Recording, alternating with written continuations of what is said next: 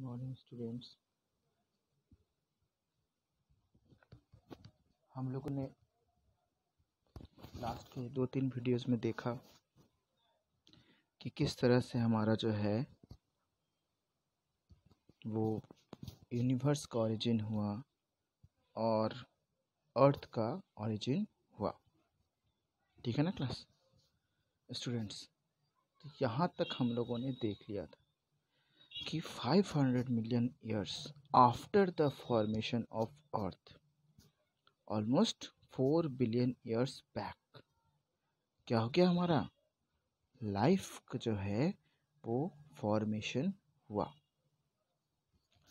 कल का जो वीडियो था, उसमें हमने क्लास ट्वेल्थ के जियोग्राफी वाले जो बुक है सॉरी क्लास इलेवन के, वहाँ का फ़र्स्ट चैप्टर से हमने देखा origin of universe and origin of earth ठीक है? अब यहाँ से देखेंगे कि अर्थ के ओरिजिन के बाद जो लाइफ हमारा फॉर्म हुआ, उसको लेकर के कितने सारे जो थियोरीज है और कितनी सारी जो डिफरेंट डिफरेंट टाइप की हाइपोथेसिस यानी कल्पनाएँ हैं और जो वेरियस साइंटिस्ट ने कैसे एक्सपेरिमेंट करके क्या क्या कहा है, वो अब हमें देखेंगे आगे से। तो अर्थ के फॉर्मेशन होने के बाद जब ह्यूमंस का डेवलपमेंट हो चुका था, अब यहाँ से ह्यूमंस ने सोचा कि अर्थ के फॉर्मेशन के बाद लाइफ उस पर कहाँ से आया होगा। तो पहला क्वेश्चन क्या बना कि did life come from outer space life क्या आउटर स्पेस से आया? तो इसके आंसर में कुछ साइंटिस्ट ने क्या कहा? Some scientist believe that it came from outside कुछ साइंटिस्ट वैज्ञानिक जो थे, उनका मानना था कि लाइफ कहाँ से आया था? आउटर स्पेस से आया था। मैंने किसी और प्लैनेट या किसी और सोलर सिस्टम किसी और गैलेक्सी से लाइफ हमारे अर्थ पे आया था। ओके कुछ जो ग्रीक थिंकर्स थे early Greek thinkers thought units of life called sports were transferred to different planets, including earth कुछ जो ग्रीक कंट्री के जो फिलोसोफर्स थे, दार्शनिक थे, उन्होंने कहा कि जो लाइफ है, वो स्पोर्ट्स के फॉर्म में अर्थ पर भी आए और डिफरेंट डिफरेंट प्लैनेट्स पर भी है अब ये स्पोर्ट्स क्या होता है? अगर आप थोड़ा सा अपने आप को रिकॉल करना चाहोगे तो क्लास सेवन में आपने पढ़ा था कि जो रेनी सीज़न होता है, उसमें क्या होता है? मशरूम अपने आप ग्रो कर जाते हैं। या फिर जो आपका खाना है, अगर आपका खाना कहीं रखा हुआ है तो उस पर वाइट वाइट पैचेस अपने आप ग्रो करते हैं, जिसको हम फंगस कहते हैं। और वो फंगस कहाँ से ग्रो करते हैं? तो उसके स्पोर्ट्स जो माइक्रोस्कोपिक होते हैं, बहुत छोटे छोटे होते हैं, वो एटमोसफेयर में फैले रहते हैं। और जैसे ही उन्हें एक फेवरेबल कंडीशन मिलता है कंफर्टेबल कंडीशन मिलता है मॉइस्चर मिलता है तो वहाँ से वो एक ग्रो कर जाते हैं। तो अर्ली ग्रीक थिंकर्स ऐसा ही सोचते थे, ठीक है? अब उसके बाद क्या एक थ्योरी दी गई? Panspermia panspermia is still a favourite idea for some astronomers कुछ एस्ट्रोनॉमर्स हैं जो स्पेस में जाकर ट्रैवल करते हैं एस्ट्रोनॉट्स जैसे ही, वो भी थिंकर होते हैं। जैसे एस्ट्रोनॉट ट्रैवल करते हैं और ये एस्ट्रोनॉमर्स एक आइडिया है, सोच है सोचते हैं, अपना उसी से रिलेटेड काम करते हैं। उनके, उन्होंने एक पैंस परमिया नाम का एक जो है वर्ड उनको बहुत अच्छा आइडिया लगता है। क्या आइडिया ये? कि for a long time it was also believe that life came out of decaying and rotting matter like straw mud etcetera ठीक है? तो ये जो थ्योरी था, ये क्या था? थ्योरी ऑफ़ स्पॉन्टेनियस जनरेशन ठीक है? तो पैंसपरिया में क्या कहा गया कि लाइफ जो है वो बाहर से आए। अब स्पॉन्टेनियस जनरेशन में क्या कहा गया कि जो मड है स्ट्रॉ है, इन सबसे जो डिकेइंग और रॉटिंग मैटर है, इनसे लाइफ का जो क्या हो गया? जनरेशन हो गया क्रिएट हुआ। और इसे कहा गया इन स्पॉन्टेनियस जनरेशन ठीक है? उसके बाद क्या हुआ? इतने से भी उन लोगों को जो साइंटिस्ट थे, उनको मतलब अभी भी उनको जो है और कुछ आंसर्स नहीं मिले थे तो वो खोज रहे थे।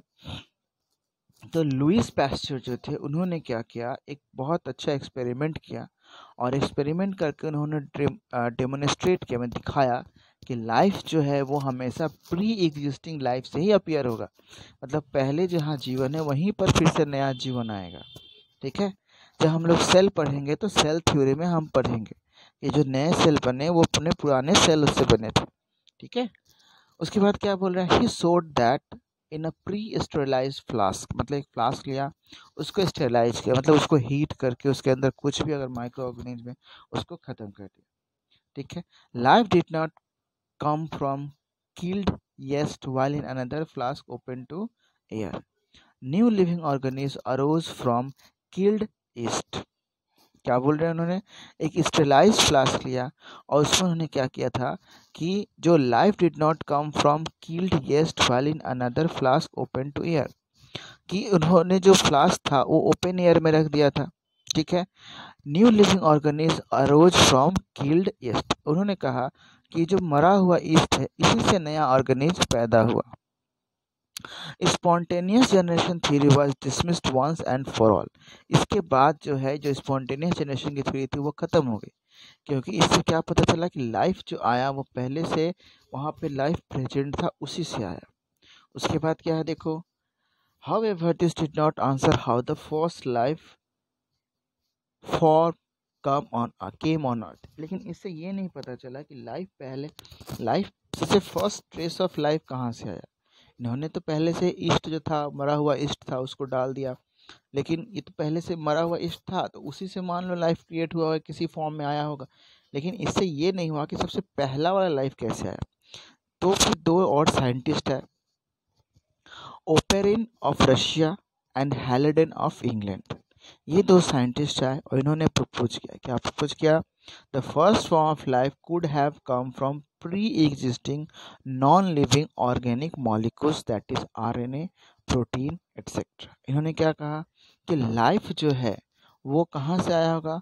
Pre existing non living organic molecules जो नॉन लिविंग ऑर्गेनिक मॉलिक्यूल्स है, जैसे कि आरएनए आपको उसका फुल हम जानते हैं राइबोस न्यूक्लिक एसिड और जो प्रोटीन है, इनसे हमारा जो है लाइफ फॉर्मेशन हुआ and that formation of life was preceded by chemical evolution chemical evolution मतलब कुछ मॉलिक्यूल्स बने।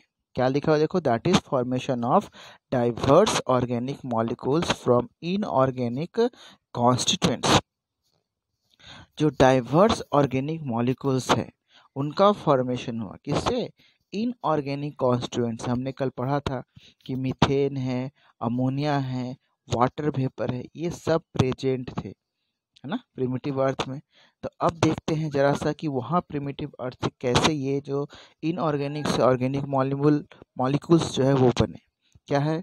The condition on earth were high temperature जो पहला प्रिमिटिव अर्थ था, वहाँ पे क्या कंडीशन था? हाई टेम्परेचर एटमॉस्फेयर कोई था नहीं। तो सन के अल्ट्रा वायलेट रे सीधे आते थे कहाँ पे? अर्थ के सरफेस पे। वॉल्केनिक स्टॉम्स मतलब वॉल्केनो जो है वो इरप्शन होता था वॉल्केनो बाहर आता था। तो उससे तरह तरह के गैसेस बाहर निकलते थे और बहुत ज़्यादा हॉट हो जाता था। Reducing atmosphere containing C H four that is methane N H three ammonia etcetera और अर्थ के एटमॉस्फेयर में क्या था? अमोनिया और मीथेन प्रेजेंट था। इसके अलावा और भी गैसेस थे। कार्बन डाइऑक्साइड होगा, हाइड्रोजन होगा और आपका जो है वाटर वेपर था। इन 1953 ओपेन हेल्डन ने तो ये कहा कि ऑर्गेनिक जो मॉलिक्यूल बना, इनऑर्गेनिक ये से बना। अब इसके बाद 1953 में S L Miller Miller, Stanley Miller ने एक अमेरिकन साइंटिस्ट, उन्होंने क्या कहा, क्या किया? लेबोरेटरी में यही सेम कंडीशन उन्होंने बनाया। क्या क्या he created electric discharge in a closed flask containing C H four that is methane H two hydrogen that is N H three ammonia and water vapour at eight hundred degree centigrade तो जो primitive अर्थ का condition था, वही condition sir S L Miller ने 1953 में, जो एक American scientist थे उन्होंने उसे क्रिएट किया, एक फ्लास्क के अंदर। और क्या किया? He observed formation of amino acids और उन्होंने जब ये कंडीशन क्रिएट किया तो उन्होंने देखा कि इन सारे मॉलिक्यूल्स का आपस में रिएक्शन होकर के, इन इनऑर्गेनिक मॉलिक्यूल से एक ऑर्गेनिक मॉलिक्यूल बना, जिसे हम कहते हैं एमिनो एसिड्स ये अमीनो एसिड्स क्या बनेगा? प्रोटीन बनेगा. उस प्रोटीन से क्या बनेगा? हमारा आरएनए और डीएनए बनेगा. और उस R N A D N A से हमारा फिर धीरे धीरे न्यू ऑर्गेनिज्म का ग्रोथ होगा, ठीक है? अब देखिए, इसी एक्सपेरिमेंट में क्या हुआ? In similar experiments others observed formation of sugars nitrogen bases pigment and fats तो जब एस एल मिलर ने ऐसा एक्सपेरिमेंट कर लिया कि अमीनो एसिड बन रहा है तो दूसरे लोगों ने भी ऐसा एक्सपेरिमेंट किया और उन्होंने क्या देखा कि फॉर्मेशन ऑफ़ शुगर जो शुगर मॉलिक्यूल्स है, वो भी बना। नाइट्रोजन के बेसिस बने, ठीक है? पिगमेंट बने, बहुत सारे पिगमेंट हीमोग्लोबिन जैसे पिगमेंट क्लोरोफिल जैसे पिगमेंट ये सब कुछ बने। और फैट्स के मॉलिक्यूल्स का फॉर्मेशन हो गया, ठीक है? ये सारे मॉलिक्यूल्स उस केमिकल एक्सपेरिमेंट में बने, जो कि क्या है? ऑर्गेनिक मॉलिक्यूल्स है, और वो एक लिविंग ऑर्गेनिज के बॉडी में मिलते हैं। Analysis of meteorite content also revealed similar compounds indicated that similar processes are occurring elsewhere in space. जो मेटेोराइट्स आते हैं, हम लोगों ने कल पढ़ा था कि एस्टोराइड बेल्ट्स हैं कॉमेट्स हैं और डिफरेंट डिफरेंट स्टार्स के जो पार्टिकल्स है वो टूट के जब अर्थ सरफेस में आते हैं तो उन्हें हम मेटेोराइट्स कहते हैं जब ये मेटेोराइट्स को लेकर के लेबोरेटरी में इनका प्रॉपर एक्सपेरिमेंट किया गया, इनको ऑब्ज़र्व किया गया तो देखा गया कि उनमें भी ऐसे ही हमको जो है इनऑर्गेनिक और ऑर्गेनिक चीज़ें मिल रही है। With this limited evidence the first part of the conjectured story that is chemical evolution was more or less accepted तो यहाँ से क्या पता चला कि जो अर्थ के कंडीशन थे उस कंडीशन में किसी तरह से केमिकल रिएक्शंस हुए और ऑर्गेनिक मॉलिक्यूल्स का फॉर्मेशन हुआ। इनऑर्गेनिक मॉलिक्यूल से ऑर्गेनिक मॉलिक्यूल्स का फॉर्मेशन हो गया। और इसी को हमने कहा केमिक केमिकल इवोल्यूशन ठीक है? अब आगे देखते हैं, क्या है? We have no idea about how the first self replicating metabolic capsule of life arose क्या बोल रहे हैं? कि अभी तक हमारे पास कोई आइडिया नहीं है कि कैसे पहला जो self replicating metabolic capsule of life मतलब सेल्फ रेप्लिकेटिंग मतलब खुद से अपने जैसा ही एक नया कुछ बनाने का जो एक प्रोसेस है, वैसा कुछ जो है एक आइडेंटिटी या वैसा कुछ जो है एक लाइफ का फॉर्म अभी तक कैसे अरेज हुआ, इसका हमें आइडिया नहीं है। लेकिन यहाँ से क्या हमको पता चल रहा है कि the first non cellular forms of life could have originated three billion years back क्या पता चल रहा है कि जो non cellular forms of life है, वो three billion years back formation हो गया होगा। They would have been giant molecules और वो क्या हो सकते हैं? बड़े बड़े मॉलिकुल्स होंगे। किसके? आरएनए के प्रोटीन के और किसके? पॉलीसैकेराइड्स मतलब जो कार्बोहाइड्रेट के मॉलिक्यूल्स हैं, वो सब भी हो सकते हैं। तो इस तरह से जो है कि पहला जो है लाइफ का जो फॉर्मेशन की जो चीज़ें हैं, वो आई, ठीक है?